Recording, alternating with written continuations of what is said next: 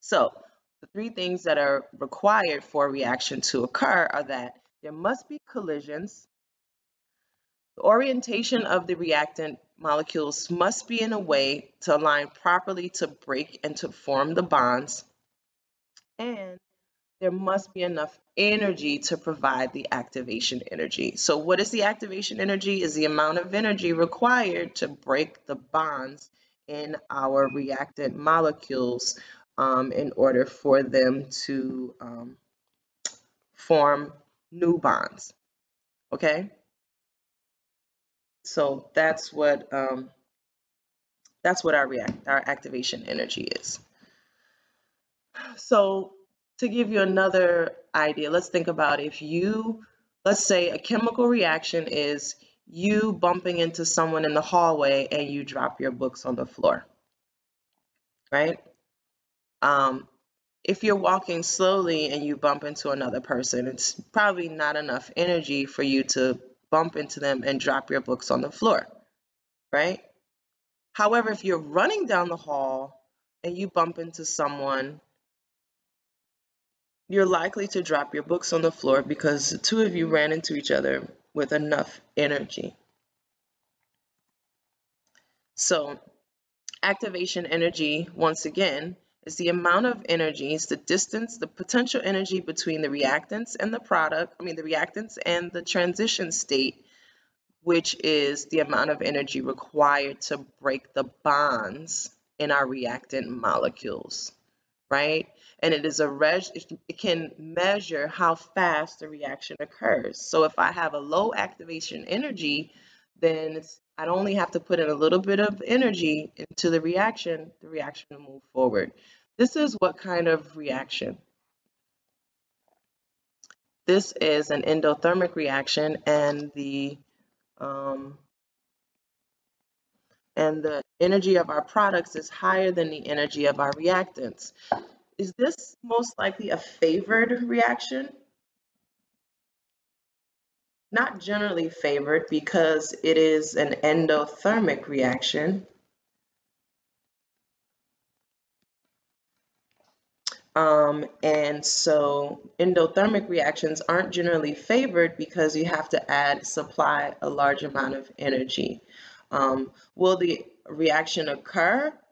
It can occur, but you'll have to continually supply the energy necessary, right? So activation energy is the amount of energy between the reactants and the transition state.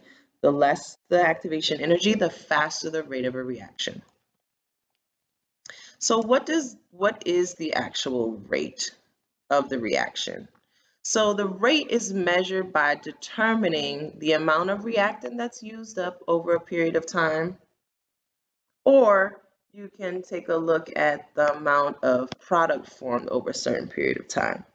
So it's going to be the change in concentration of the reactant and product per change in time.